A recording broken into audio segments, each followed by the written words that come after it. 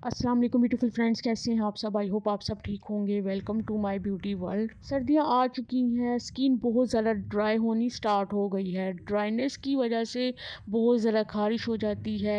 Skin खिंची खिंची सी feel होती है. स्किन ड्राई होने की वजह से जुड़ियाँ भी जल्दी पड़ जाती हैं. फेस के ऊपर लाइंस बन जाती हैं. हाथों, पाँव की जो स्किन है, वो बहुत ज़्यादा सख्त हो जाती है. आज मैं एक रेमडी बताने वाली हूँ. वेज़लिन है, जो कि बहुत ज़बरदस्त चीज़ है। सर्दियों और गर्मियों में लाजमी यूज़ होती है।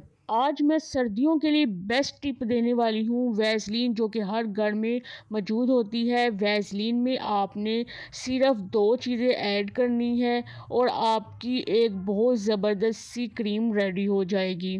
विंटर के लिए ये बेस्ट क्रीम है और मैं समझती हूँ कि ये जो क्रीम है हर घर पर ही लाजमी मौजूद होनी चाहिए।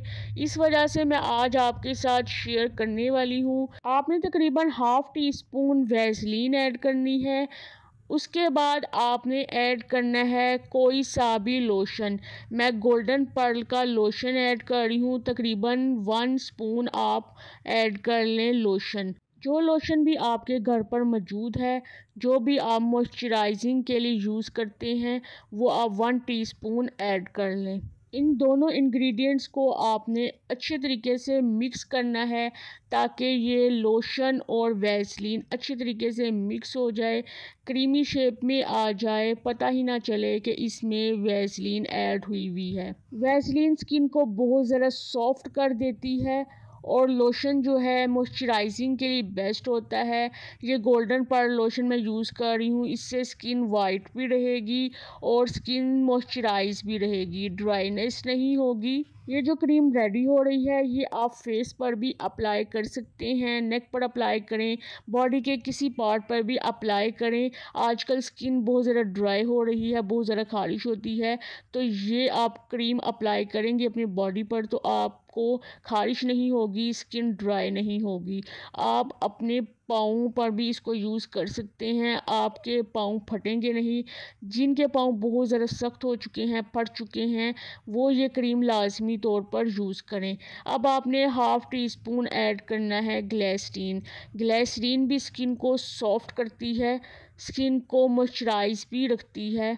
ग्लेसरीन ऐड करने के बाद भी आपने अच्छे तरीके से मिक्स करना है, ताकि ये तीनों चीज़ें अच्छे तरीके से मिक्स हो जाएँ, एक क्रीमी शेप में आ जाएँ। ये क्रीम आप रेडी करके रख लें। ये आप रात को लाजमी सोते वक्त यूज़ करें। लाजमी अप्लाई करके सोएँ। आप सुबह उठेंगे तो देखेंगे कि आपकी स्किन चमक रही होगी, क्योंकि इसमें ग्लेसरीन ऐड है, जो स्किन में शाइन पैदा करती है। जब भी आप हैंड वॉश करते हैं, उसके बाद अपनी स्किन को लाजमी तौर पर मॉइस्चराइज़ किया करें, अपने हाथों पर लाजमी तौर पर यह क्रीम अप्लाई किया करें। आपकी स्किन सॉफ्ट रहेगी, पूरी सर्दियाँ आपकी स्किन में ड्राइनेस नहीं होगी और रंग भी ख़राब नहीं होगा। स्किन बहुत ज़्यादा ड्राई रहे, तब रंग ख़राब होना स्टार्ट हो जाता है। आपने स्किन को ड्राई नहीं होने देना है। जब भी आप बर्तन धोते हैं, उसके बाद ये क्रीम अप्लाई कर लें। नहाने के बाद भी आप बॉडी पर ये क्रीम अप्लाई कर सकते हैं, पाँव पर लाजमी ये अप्लाई करके सोएँ, देखेंगे आपके पाँव आपके सॉफ्ट हो जाएँगे बहुत ज़्यादा। मेरे पास एक क्रीम की डब्बी पड़ी हुई थी, उसमें मैंने ये क्रीम डाल ली है, ये थोड़ी सी क्वांटिटी में यूज़ होती है। वन ड्रॉप आप लें और अपने हाथों पर लगा लें वन ड्रॉप आप पाँव पर लें, अपने पाँव पर लगा लें फेस पर भी अप्लाई कर सकते हैं।